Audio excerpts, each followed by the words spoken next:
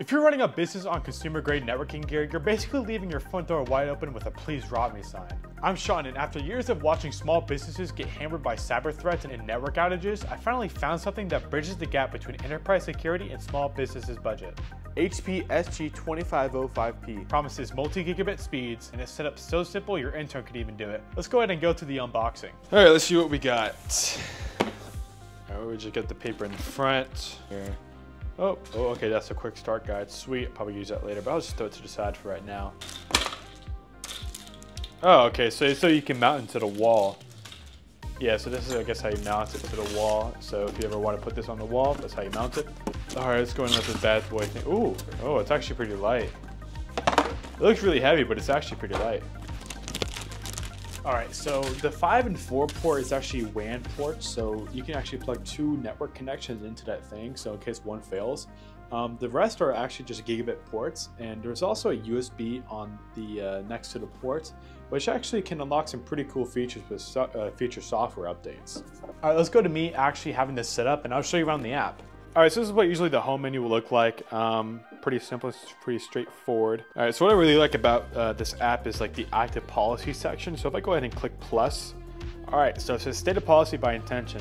Now if I go ahead and let's do, um, I wanna block my, my employees from using Netflix. So if I'm gonna do block Netflix and send it. All right, so the AI is gonna figure out what I mean and it's gonna find out Netflix's uh, thing right here. So it can see suggested policies, all networks from accessing Netflix, just go ahead and create that policy. It automatically creates it. Now, if I try to if I try to go to Netflix, it is literally not going to load.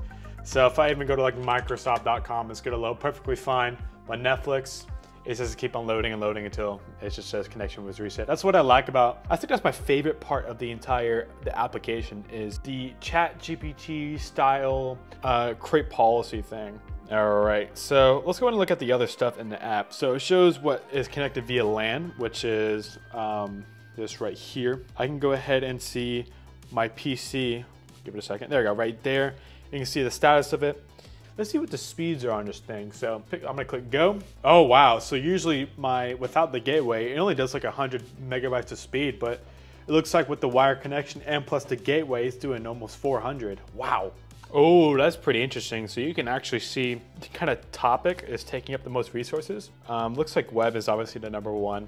Uh, you can see productivity, uh, you know, business and economy, which would, I think that would be Microsoft. I think I loaded up Microsoft on this. So that would be in that section. Utilities, kind of just the basic stuff. Um, if I go to threats blocked, ooh, interesting. I can actually see the threats that are coming to this gateway, which will block, by the way. Let's say I'm an evil hacker and I decide, let me spam this guy's system. With their security settings, they're able to just block it just like that, no worries. So, is the HPE SG2505P worth it? If you're serious about your business network, this thing is a no-brainer. But here's what you get. True multi-gig performance, enterprise level security without the headaches, and cloud management that actually works. There's an AI assistant that makes advanced features so simple. But there are a few trade-offs, like there's no Wi-Fi built in, but they're actually better for flexibility.